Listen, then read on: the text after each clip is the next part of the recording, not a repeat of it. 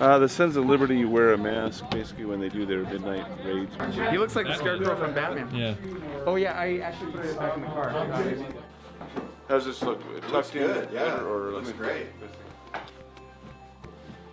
I need a cape now. I didn't scare her at all. I mean, she was not even like, not even phased.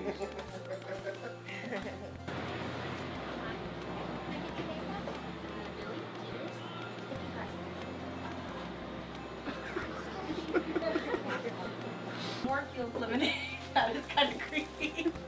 not scary, just creepy. Creepy's not bad. No. It's not too bad. I think they'll work actually. I mean, when you get uh, 12, 15 uh, guys, you know, Yeah.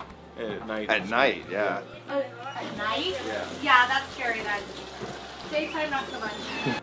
But they all tie back, so they, they won't be like baggy or anything like that. So I think they'll be.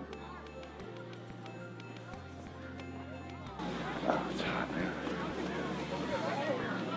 And I think you know the secret societies basically were pretty good covering their identity and keeping secrets. So this kind of part of courage mythology. It's not we we have loosely uh, based uh, documentation on what went on with the Gaspee and the Tea Party, uh, and that they had to disguise each other, but we didn't know if they did anything like this or not. So The reading. careful with those porcupine quills. Yeah.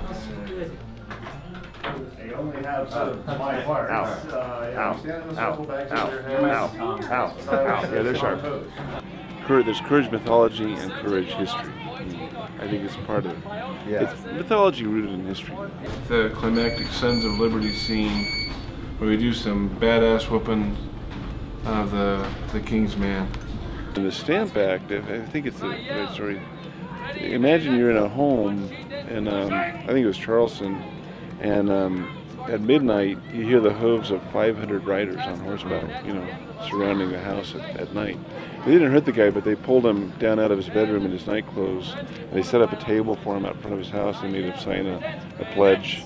They used fear so effectively that they never, they didn't have to resort to violence that much. I mean, so, and that's kind of what we want to stress in, in these episodes.